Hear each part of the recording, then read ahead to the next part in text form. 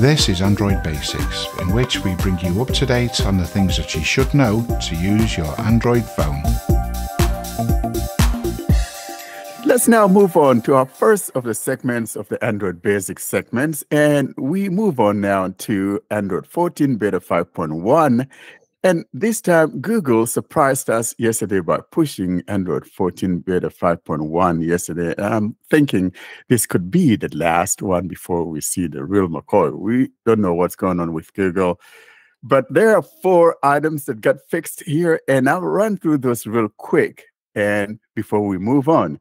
So here's what we got that Google fixed with this uh, Android 14 Beta 5.1 fixed an issue that caused the system to stop detecting a SIM card if fixed dialing number is enabled.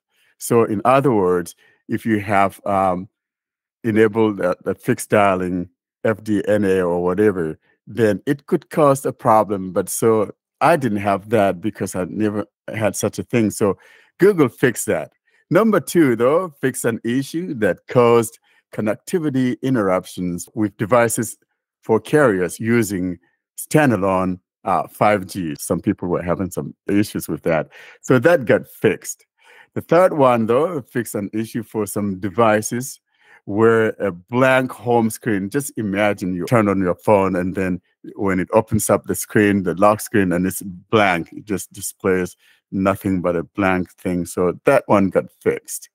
The last one, of course, uh, fixed a performance issue um, where by temporarily disabling the feather style live wallpaper on Pixel Fold.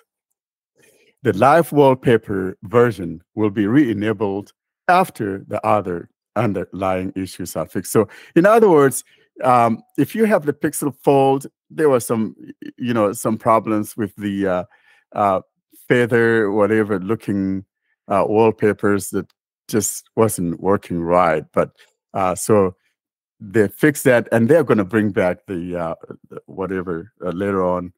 So those are the only things that got fixed, though, because I think that tells us though that we're coming to the final, or you know, the public release. What do you guys think about uh, this? Actually, there are no accessibility fixes, but the problem is Google is fixing such a serious issue when the system stops detecting SIM cards at this stage of the beta really shows something. Now, I have been using Android betas very recently. I think Android 13 beta was when I owned a Pixel device, and that was the first time. And I don't think we have ever had 5.1 betas of any Android device. So that means something is going up with Google, I think.